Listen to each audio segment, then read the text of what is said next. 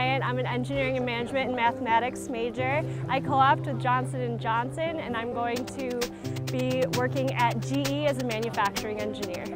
Hi, Chris Plummer, engineering and management, Johnson Controls selling HVAC systems in New York City. Hi, I'm Allison Wilder. I'm an engineering and management major and I'll be working for Timken Aerospace in Lebanon, New Hampshire. I'm going to be a supply planner for Timken.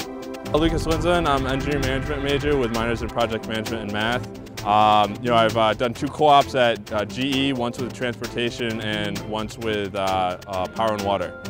Um, so after graduation, I'm interviewing with uh, Cobham, um, and also with GE Oil and Gas. Hi, I'm Jessica Versace. My major is engineering and management and I worked in a manufacturing plant and also at a nuclear power plant. I plan to move on into the project management field. I'm Thomas Desden. I'm an engineering management graduate. I interned with Welliver McGuire this past summer and I got a job offer from them and I'll be starting in June.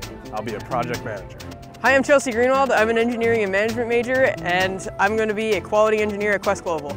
Kyle Carew from Goffstown, New Hampshire. I'm an engineering and management major and I will be working at Horizon Solutions. I will be an outside account manager. I'm Patrick Kita. I'm going to be working in Syracuse, New York with uh, TRC Power Solutions as a project coordinator. My name is Walter Turnowski. I am from Burnsville, Minnesota. I'm an E&M major. I have interned at TS Environmental as construction management and also BMC Software as technical sales. I'll now be taking a job in Global Foundries as an equipment engineer. And I haven't really had a single moment where I felt underprepared in a situation I've been in in my job. So it's been, it's been a really great program for me.